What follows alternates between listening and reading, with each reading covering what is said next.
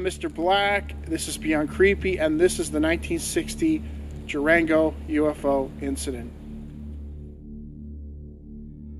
In the December 28, 1960 edition of the Durango Herald, there is a curious report involving a sighting of a strange object on Christmas Eve. The object was witnessed by more than a dozen people and was investigated by the local police. While this might appeal to those who enjoy compiling such reports, it's the events that followed that prove the most interesting, at least to me. Fortean researcher and author John Keel even wrote a brief summary of the case in his 1984 book, Strange Mutants, though he left out some details which I will cover here. On December 24, 1960, a dozen or so residents living in an outlying area near Durango, Colorado, had a front row seat for something truly anomalous. At around midnight, a light suddenly appeared on the brow of a mountaintop north of the Wade Folsom Ranch. The Folsom family observed the object from the windows of their home. Wade actually wondered if it was the Star of Bethlehem though all could tell that there was something strange about this star. It was round, and beneath the many small lights there appeared to be tiny windows which blinked. The tall pine trees on the mountain top stood out in stark relief behind the object, and there was a glow about it. First the glow was white, then green, then the object disappeared as mysteriously as it had come. Another witness, Ruth Stevenson, recalled First, the sky was bright with hundreds of tiny blinking lights that seemed to turn around and around and dim to almost nothing, first on one side and then on another, like some giant breathing thing. Then, in another moment, the object was gone, leaving only the cold night with a bright moon and twinkling stars. Members of the Folsom family, at least a dozen of them, saw it agreed that the top of the object, quote, looked like a giant plastic dome about the size of the family living room, 20 by 25 feet square, though they debated on whether or not the object actually ever touched the ground or simply remained hovering above it. Wade had a pretty good idea whereabouts in the hills that the object was situated, and so the next day he took his dog and two grandsons and climbed to the top of the mountain. We saw some broken limbs, but not much else, Folsom told a reporter with the Durango Herald. To him, there was no evidence to indicate that anything had landed there, yet the broken tree limbs puzzled him, he admitted. At around 3 p.m. on Christmas Day, the Stevenson family, many of whom were witness to the strange light on the mountain, were surprised when their pet dog came running at their house, hurling herself at the door. Upon being allowed inside, she ran into the living room, dashed around frantically as though scared by something, and then promptly dropped dead. Bruce Stevenson, speaking to the Durango Herald, noted how utterly strange it was since the dog had recently gone missing. For her to suddenly return and then drop dead was both disturbing and confounding. Even more disturbing was the fact that on that very day, a neighbor's dog, which had also gone missing, was observed coming down from the mountain where the strange object had been seen the night before. What was going on?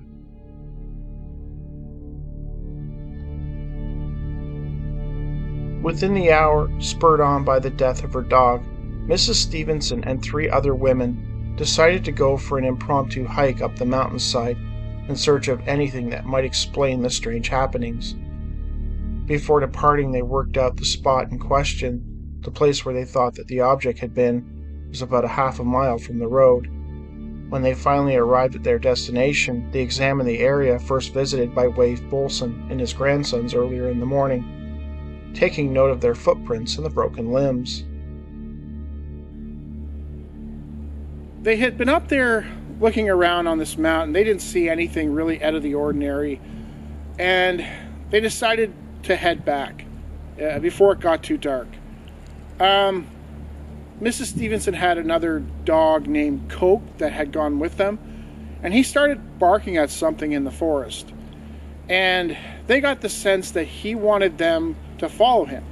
So they decided because there was still some daylight left and because it was, well, they were already there anyways, they decided to follow him and they followed him up further up the mountain and he stopped at the uh, base of a spruce tree and he was barking at something up in this tree.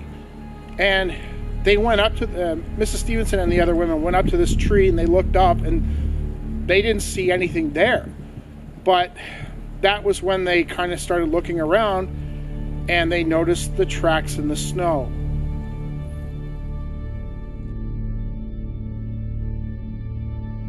Ruth Stevenson and her three friends were shocked when they began to examine the snowy ground around them. There were tracks everywhere, leading to the spruce tree and away from it, going in the direction of a clump of cedar trees beyond the clearing. Mrs. Stevenson referred to them as, quote, strange giant tracks, which she and the other women were hesitant to follow just because of their sheer size. They determined that whatever made them must have been huge as they examined the area, their dog continued to run around and bark excitedly at something, though they could never determine what that something was. Speaking to the Herald, Mrs. Stevenson noted that the large tracks were human shaped, but it was a set of other tracks which really puzzled the small group of women. Imprinted in the snow was something which resembled a hoof, although there were three hoof marks together in a cloverleaf design. There were many of these tracks leading from the cedar clump, and Mrs. Stevenson noted other broken limbs and bark scraped from the trees about six feet from the ground. The broken limbs she noticed had come from the tops of the trees. More and different tracks were observed by the women. They resembled deer's tracks, only with four prongs instead of the normal two. These prongs were arranged in a square of about six inches across but the track itself looked somewhat round in shape. We saw other tracks that looked like some giant frog had leaped from place to place. The pattern of the tracks was in the three attached pointed circles, the tracks possibly some three feet apart, she told the paper. Next, we discovered a strange track that we called the kangaroo. There was the three round footprints with small holes in a round circle, and the print of a tail in between. These tracks were about five feet apart, always in a straight line from the clump of trees. There were many of these giant tracks, all leading in different directions, but always in a straight line from the cedar clump. Another set of tracks looked like a footprint of a very small person. The toe was quite pointed, but the foot part was almost round, and there was a small high heel. The print could not have been over five inches long. Stevenson indicated that another set of small footprints was also found by them. It was not as pointed, and the heel did not appear to be as high as the other. The four women followed the tracks to a deserted mountain cabin, where the footprints seemed to circle around it before heading back to the clump of cedar trees, or touchdown site, as Keel referred to it. After describing these tracks, Mrs. Stevenson said she was familiar with wild animal tracks but was not able to identify the ones found at the mountaintop. It sounds like there was a whole variety of different creatures up there. Uh, I'm just gonna like speculate here. It sounds like there was a couple of small grays.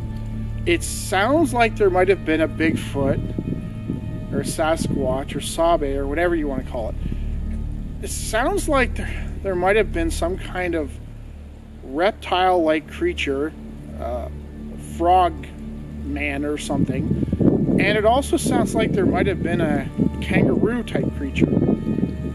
And for me, this is interesting because a year ago I was going to make this video about these weird kangaroo like entities that people are seeing.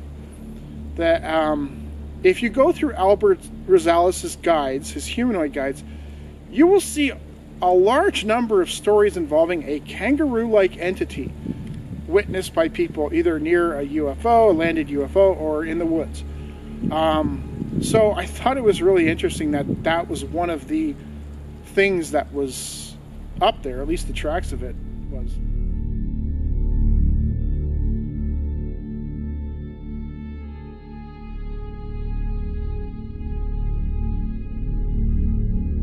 In the same issue of the Durango Herald, reporter Hal Piper attempted to poo poo the whole affair.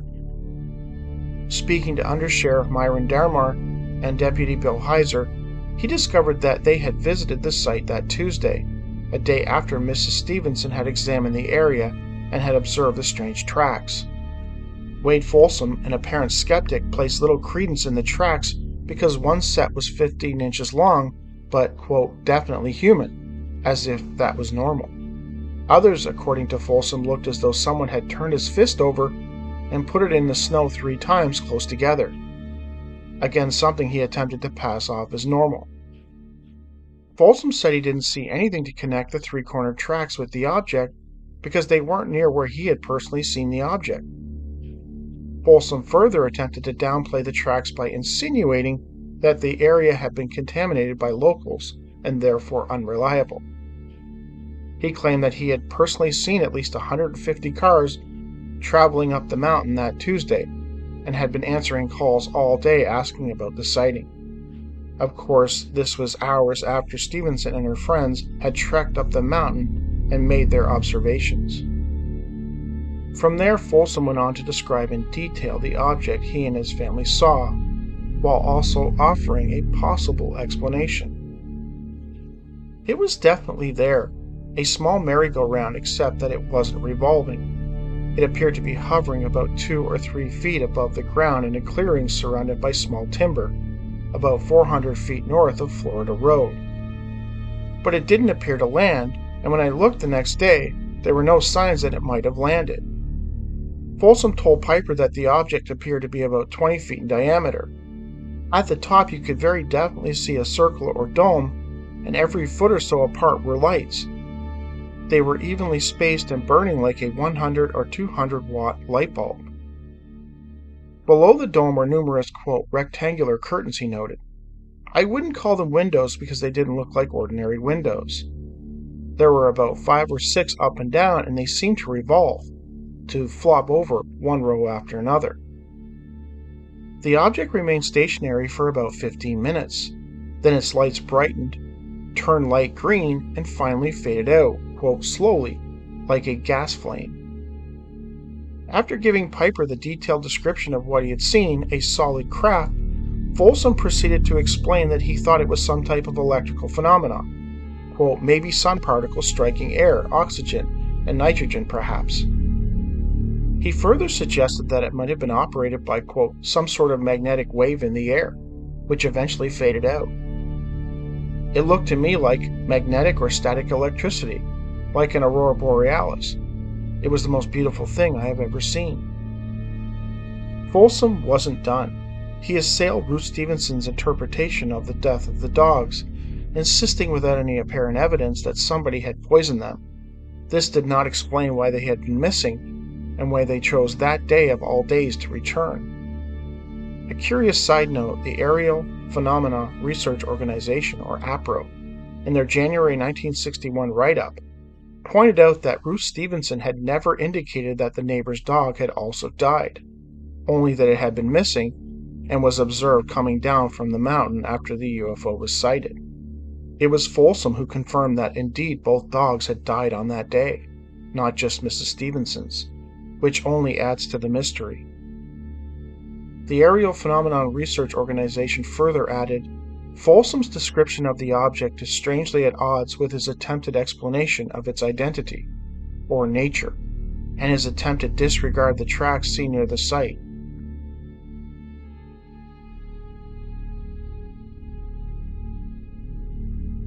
Dealing with the death of her beloved pet and the stress of the holidays, Ruth Stevenson declined any further comment on the matter and did not respond to APRO when they attempted to follow up with her. Because of this and Folsom's odd attempts to pass it off as a load of malarkey, possibly to discourage any further discussion on the matter, APRO was hesitant to publish the story, though they ultimately concluded that it was worth it. It appears that a real and rather unusual object was seen, and Folsom's explanation is an attempt to rationalize something which is adverse to his personal inclinations.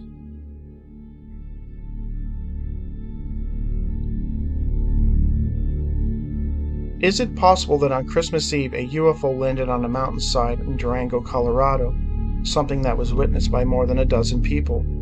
Then a variety of large and small non human entities exited said craft, walked or hopped around in the snow, checked a cabin, possibly for anyone inside, and then released back to the area some pets that they had previously taken. They then re entered their craft and departed back to wherever they originally came from. The only thing left behind were some strange footprints in the snow, some broken tree limbs, and two very ill pets. Wade Folsom would probably tell you no, that could not have happened. Ruth Stevenson would most likely tell you yes, that's exactly what happened. Sadly, the truth is probably somewhere in between, and any evidence to be gathered has long since been washed away by rain, covered by foliage, or buried under the ground.